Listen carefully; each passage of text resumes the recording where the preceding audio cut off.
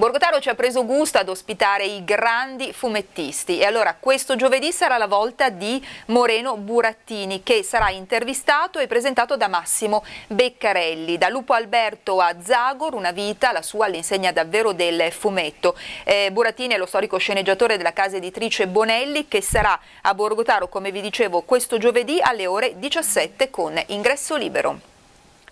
E ora andiamo in quelle di Berceto dove giovedì scorso nella sala consiglio comunale l'amministrazione ha organizzato la presentazione alla cittadinanza della carta del potenziale archeologico del comune. Abbiamo intervistato uno dei relatori dell'incontro, Filippo Olari. Quali sono i luoghi più interessanti del territorio bercetese da un punto di vista archeologico? Quali potrebbero essere potenzialmente? Ecco. Eh, sicuramente il territorio di Bercetta è un territorio eh, molto ricco di mh, mm, siti archeologici, eh, le percorrenze di Crinale così come eh, i grandi assi viari antichi come la via Francigena e le precedenti vie.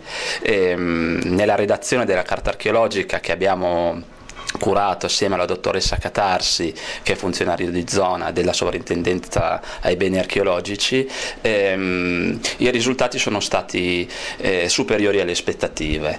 Ehm, era già stato fatto qualcosa ed è stato eh, integrato con eh, nuove acquisizioni molto importanti eh, parte del patrimonio che si conosceva già. Eh, l'obiettivo di questa carta archeologica era quello di fornire al comune eh, uno strumento di programmazione e, mm, e anche di, mm, di tutela del patrimonio sepolto. Ecco, eh, può dare qualche esempio di qualche luogo, di, di qualche eh, ritrovamento, di che genere, a che periodo risale, a che epoca, a che, a che, a che civiltà, ecco eh, abbiamo individuato nuovi siti mh, preistorici, eh, in particolare alcuni eh, siti mesolitici ehm, e anche alcuni siti mh, del Medioevo molto importanti, eh, alcuni castelli e anche alcune, alcuni edifici fortificati. Quindi il territorio bercetese nell'antichità eh, era stato abitato e, e, ed era anche allora luogo di passaggio forse. Sì, sì, assolutamente. Diciamo che eh, allora più di ora ehm, le vie di percorso naturali e, e, la via Francigena, prima ancora la strada romana e, e anche le vie percorse nel, nell'età del ferro erano, erano molto importanti e queste testimonianze sono state ricostruite in parte con eh, ritrovamento di ehm, eh, aree archeologiche tramite survey, eh, in parte tramite eh, eh, molti scavi della sovrintendenza, soprattutto sul crinale tra ehm, Parma e Baganza e anche grazie alle fonti edite, fonti antiche che eh, soprattutto dal periodo medievale parlano molto di Berceto e del suo territorio. Ecco, l'ultima domanda per quanto riguarda il centro abitato per quanto riguarda il centro abitato siamo riusciti a eh, recuperare molti dati eh, grazie alle segnalazioni orali e grazie anche a, ad un'attenta osservazione eh, sia dei documenti storici come foto d'archivio e anche grazie ad alcune ricognizioni.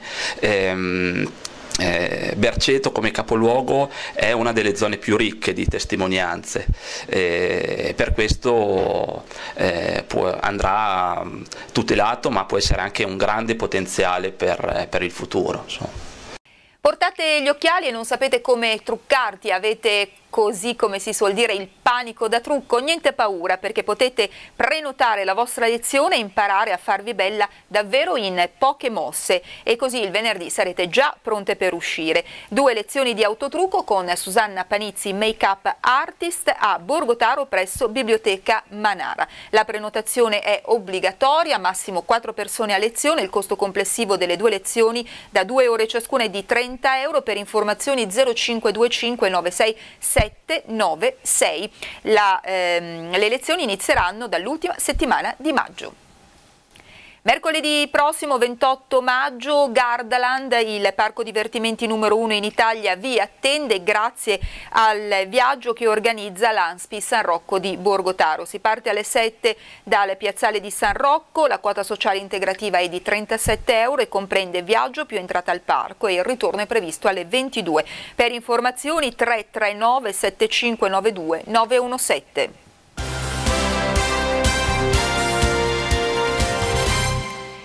Pagina sportiva dedicata al basket, c'è da segnalare una bella e importante novità per Borgotaro perché la Valtarese 2000 è stata chiamata ad organizzare le finali regionali Under 14 femminile proprio a Borgotaro.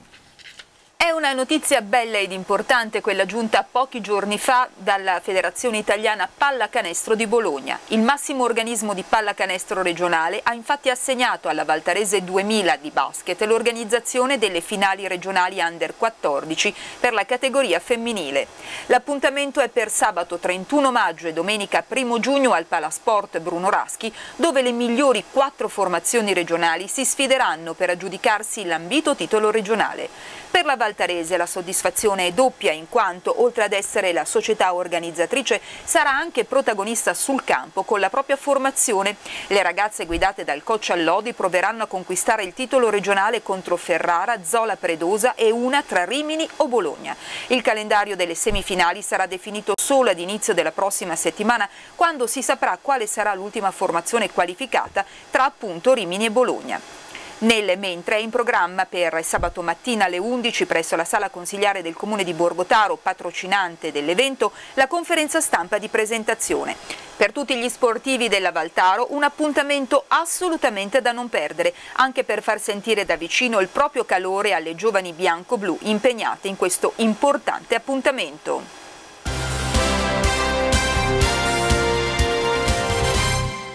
Il meteo per domani 21 maggio, mercoledì, sereno poco nuvoloso, al pomeriggio possibilità di locali piovaschi, le temperature minime stazionarie o in lieve locale aumento intorno ai 12-14 gradi, massime in aumento con valori compresi tra 20 e 24 gradi, venti saranno deboli. Vi lascio con la programmazione serale, cominciamo intorno alle 20.45 con Festival, alle 21.30 il documentario Atlas e poi il nostro TG. Grazie come sempre per averci seguito, buon proseguimento di serata, torniamo domani, arrivederci.